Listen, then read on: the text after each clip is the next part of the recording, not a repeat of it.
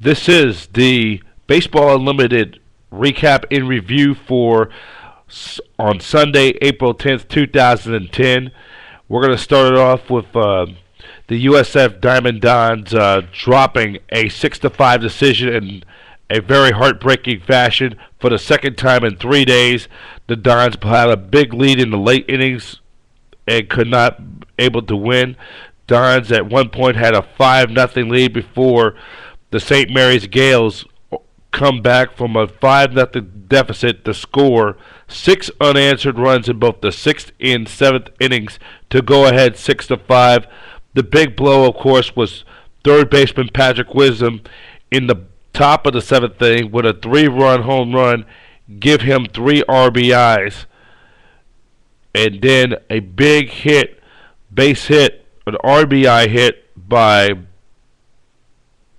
the uh, Gales. They put them ahead six to five. It was an RBI hit by first baseman Troy Channing that proved to be the game-winning RBI.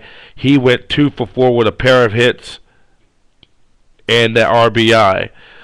While for the uh, Dons, Matt Heiserman went five one third innings, giving up five hits, two earned runs. He had five strikeouts. Hayden Hinkle uh, was the losing pitcher. His record will go to 0 2.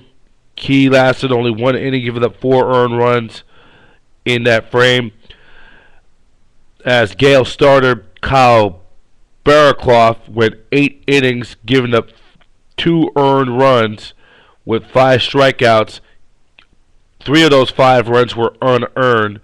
He gets the win. His record goes to three and three. The losing pitcher, Hayden Hinkle, is 0-2. The save goes to Jordan Mills, his first of the season.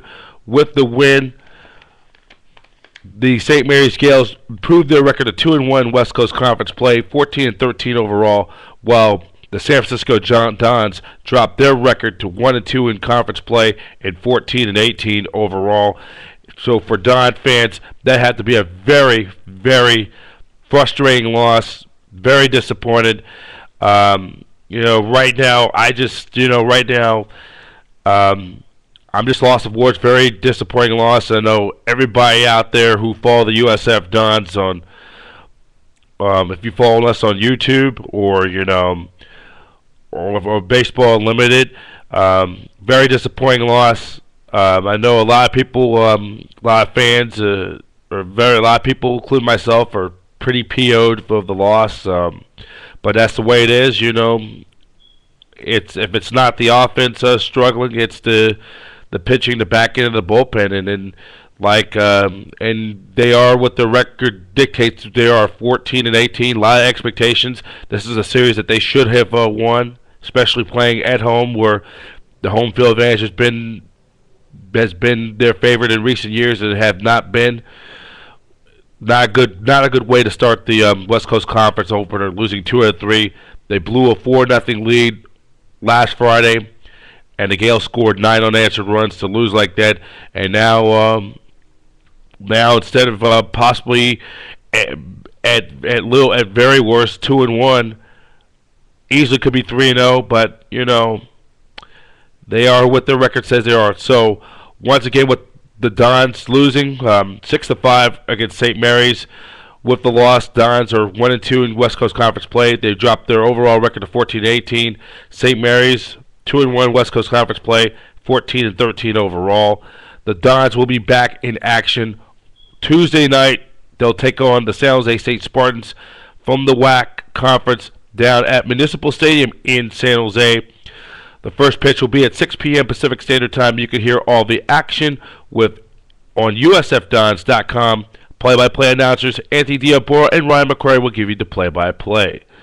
Also, over the weekend, your San Francisco Giants uh, taking two out of three. They losing the finale six to one to the Cardinals. Um, and it was a great weekend for Giants fans. They did take two out of three, two walk-off wins, um, both on Friday and on Saturday. Giants raising the flag on Friday, and then Saturday night getting their World Series rings.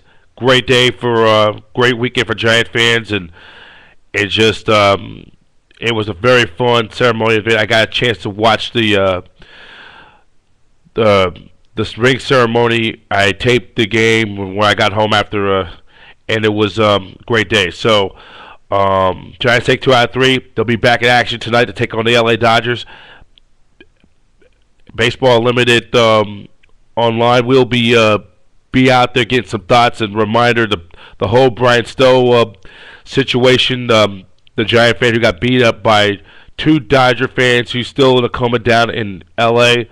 He, um, they'll be uh, honoring him. There'll be, um, you know, there'll be donations at the bringing in donations before the game. So whatever you could do, please donate. Giant fans, uh, you know, uh, play, uh, be respectful and um, and don't act in act of violence.